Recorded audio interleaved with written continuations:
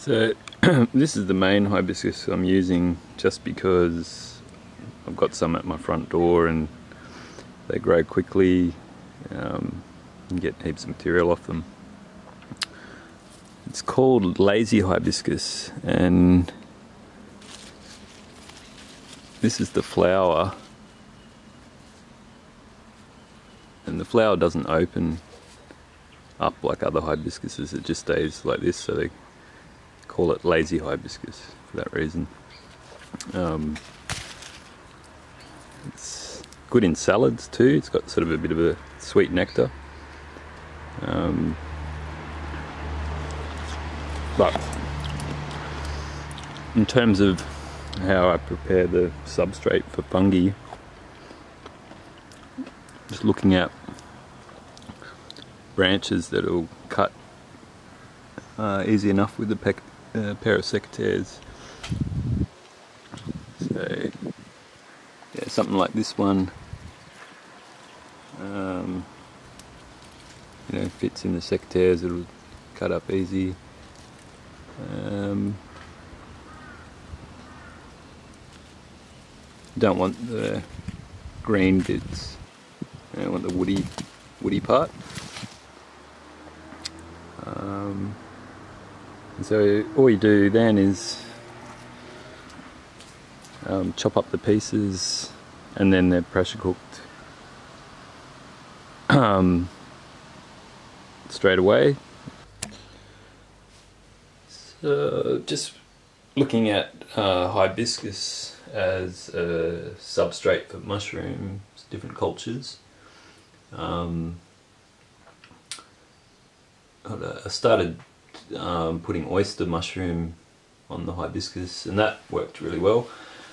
Um, initially I was taking this, the bark off the hibiscus which I've later found um, don't have to do that just chopping it up into chunks um, pressure cooking it 15 psi for an hour in these small jars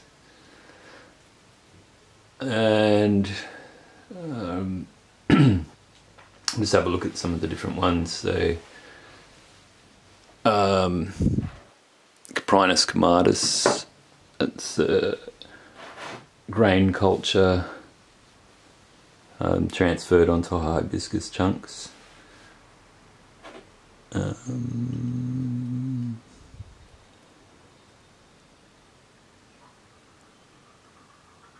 so that you know transfer is pretty easy. Um, and we've got the Australian fire morel uh, put it on grain and then just wanted to see if that would go onto the hibiscus and it's definitely transferring.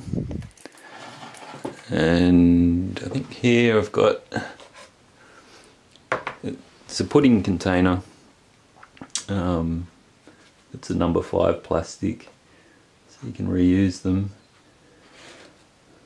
I'll pour agar in there and grow the culture on it, and then because the container's bigger, I can add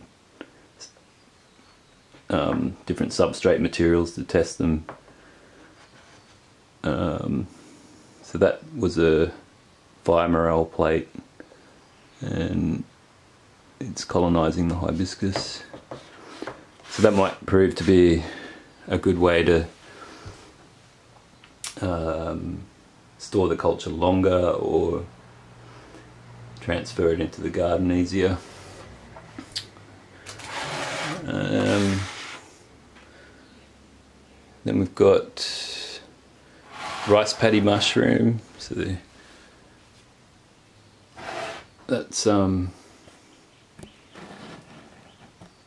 colonized quite well.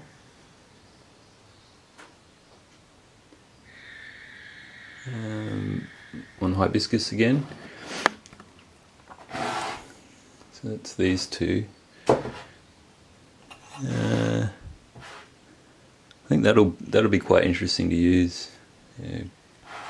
I'll have to work out what the next step is, whether I transfer it to bigger bags of hibiscus or use this as a starter culture to layer in amongst cardboard and cow dung or dried banana leaves.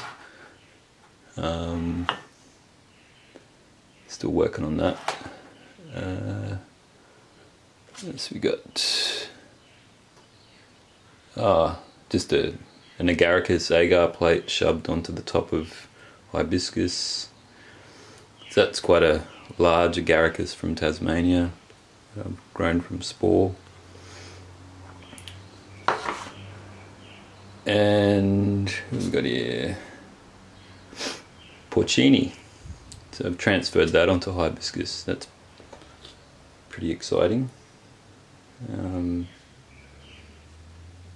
so potentially I could uh, use that to germinate seeds or um, add this to say an oak tree seedling into the potting mix.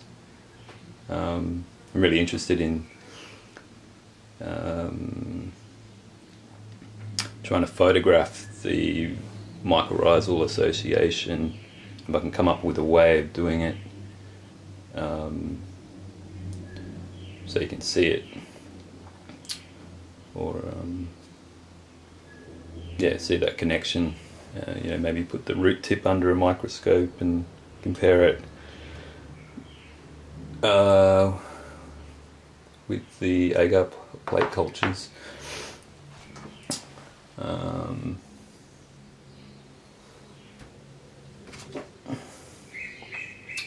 I did a type of Zarula, but the hibiscus was a bit there's a bit too much moisture in there. I don't know if that one's going to work. I think some of the water from the pressure cooker got into it. Um, I'm also trying the big white parasols, Macrolepiota dolichaula. Um, haven't really started yet, and the culture was a bit been sitting around for a while, so see what happens there. And I've got a couple of really tasty native Pleurotus from the mountains. Um, that should be alright.